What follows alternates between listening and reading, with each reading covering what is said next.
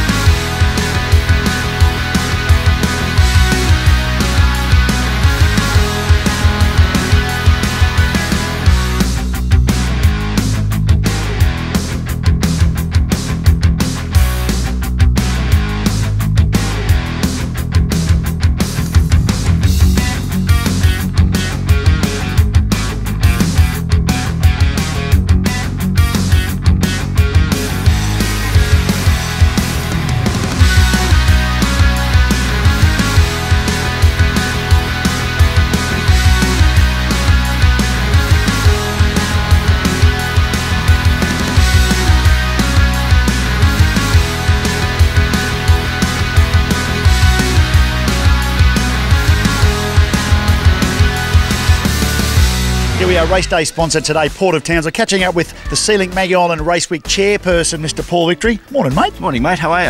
Uh, I guess we're into day three here, Paul. You must be overwhelmed and thrilled at the at the response and the turnout here for the race week. Yeah, absolutely thrilled.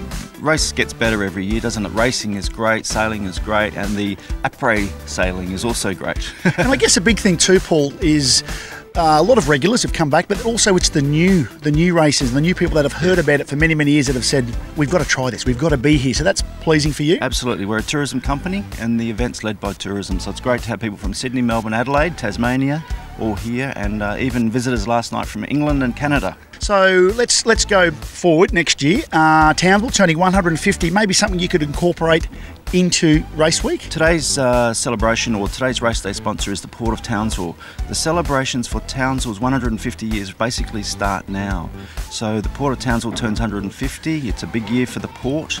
And of course, Townsville as well will turn 150. I've got some great ideas for next year historic sailing, match racing, a big year for the Defence Forces. So, a lot of things on the water next year. Mate, we continue to say it. Can it get any bigger? And it continues to get bigger. You must be, as an organiser that's come in for the last few years, you must be over the moon, Paul. Oh, what an event! Yeah, I talked to some people last night. I think uh, we're about tourism and um, I want to sell Magnetic Island, and um, this is a great event. I said to somebody last night, What a great regatta. They said, Guess what?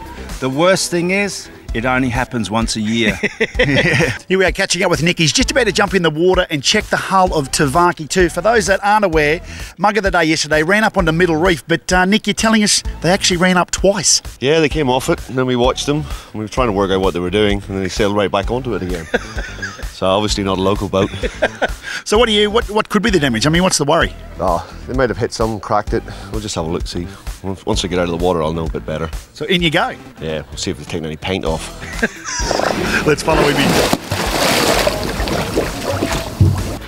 Nick, here's the big. Uh, we want the big answers. Any damage? Oh, no damage, but no paint on the bottom of the bulb.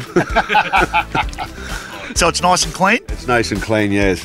Scraped off a bit of fiberglass, and basically taking the paint off. But all the nuts is good.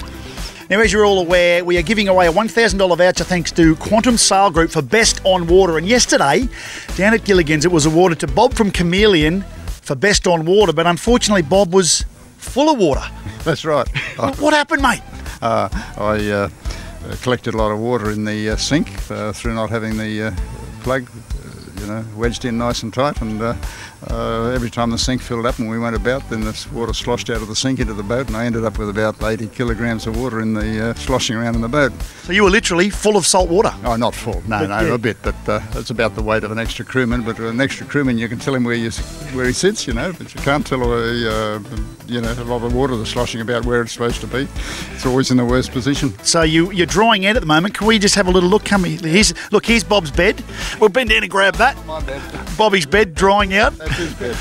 All the life jackets are out through here. Everything, Bob. But it looks like it's drying out. And will you be racing today? Yeah, I'll be racing today. We'll be cleaned up in another three quarters of an hour. Don't stand on my bed though. Come on. He's up me. Get off the bed, Scotty. catching up with Mal, who has done six Maggie Island Race Weeks, but very brand new boat here, the Champagne. Pretty impressive. Yeah, she's uh, she's not a bad bad girl for a big girl. When did she turn up? Uh, we picked her up from Hamilton Island on Tuesday lunchtime. And how's it racing? Is it doing everything you thought it'd do?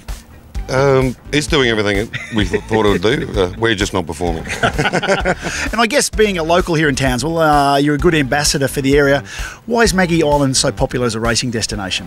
Oh, just the uh, conditions up here and the weather. You know, the afternoon doctor. There's always a bit of breeze about, so it's it's fantastic. So they're saying a bit lighter today. You can, we can tell this morning, probably that 10 to 12 knot mark, going to make it interesting racing. Yeah, we'd prefer the 20 knots, but the uh, the 10 knots and the crossing uh, in between is going to be. Um, if the committee boat's in the middle there, she might have some good shots. And it's a good thing. Uh, a lot of boats travelling from interstate uh, for the regatta. They travel from everywhere just to be here and, and race this Maggie Island Race Week. They do. Well, up here we're shorts and t-shirts, and down there they're fully suited and booted. So uh, what a what a great spot, you know. We're we're spoilt up here with the, our weather in the winter. And is it true that the name Champagne, every day you get back to the dock here and you'd like to invite everybody, three cases of Moët Champagne will be here this afternoon? Yes, yes, that's right. Not. because Scott's paying.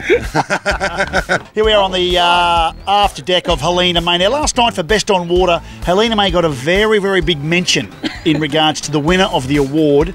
Skipper here with Lindy with a big smile on her face. Uh, we're going to talk rules of the road, giving way, not giving way, port, starboard, of a lady that should know. Do you want to explain yourself, Lindy? Well, decided that I wanted to be on port tack. Poor chameleon's coming across on starboard. He actually has right of way. I decided he needed to go to port. he had to tack. I was doing him a favour. Better wind out that side, out the right hand side.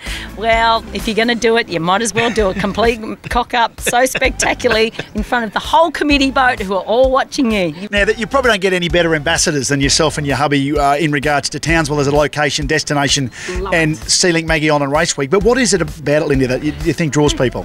Blue sky, look, not a cloud around. It's just 27 degrees, nice breeze every day. The round the island race yesterday was just beautiful, absolutely gorgeous. Watching all those kites going down, all the, it was it was great. So here, let's go a little step further. Uh, you know, to do with penalties and infringements, the pineapple is here on the boat.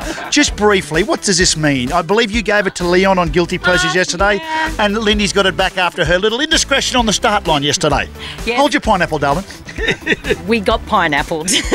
like I said, one little mistake and look what happens. Because yep, it hurts as it's coming out. Is it Easter or am I just dreaming? The lovely, come in here, ladies, the lovely Easter bunnies hitting the water very, very shortly. Is it going to make you go faster? Yes. yes. we're gonna hop. We're gonna do the hop. We're going to do the hop, hop, hop, hop. Good luck, girls. Go get them. Good luck, our little bunny rabbits. Now, one of the big draw cards here, day three, Sealink Maggie Island Race Week, is the big Arcadia Beach Fair. There's stalls, there's markets, there's fun and festivities for the whole family, including the big Maggie Island Treasure Hunt. The one RAR band are down there playing. Let's check out some of the action.